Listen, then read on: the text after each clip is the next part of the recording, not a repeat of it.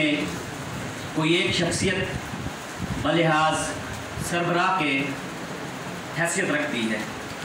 कचहरी हमारा घर है, जिसके आँगन में मुगला अपनी पेशा वराना सरगर्मियों में मसरूफ़ रहते हैं।